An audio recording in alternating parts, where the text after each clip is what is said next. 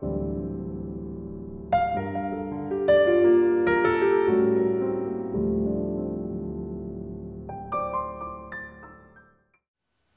this is Yolanda Vanveen with howtogardenvideos.com. And in this segment, we're going to talk about how to plant tulip bulbs. Now, tulips have been around for many centuries, and they're such a delight to have in the garden. The whole stock market was based on the tulip, and there's so many beautiful varieties. Now, tulip bulbs do look like a Hershey's Kiss candy, so you always want to plant them with the tip of the Hershey's Kiss up. And you plant them at least three inches deep. Many books say to plant them seven to eight inches deep, but I found especially in the northwest of the USA because we get such wet winters, if we plant them too deep, they rot right out.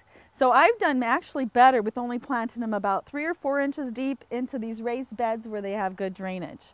When you plant them, you never want to put one by itself. So you always want to plant at least three in a triangle. And you can use a planter and plant a hole, or you can, as in this case where the soil is really loose, just kind of set them in there in a triangle.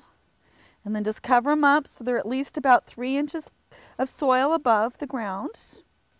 I have found like the, the yellow and the red tulips come back um, more faithfully every year than a lot of the colored ones, um, the brightly colored ones or the parrot tulips but it's still worth growing them because even if you only get two or three years out of them, they're such a beautiful addition to your garden.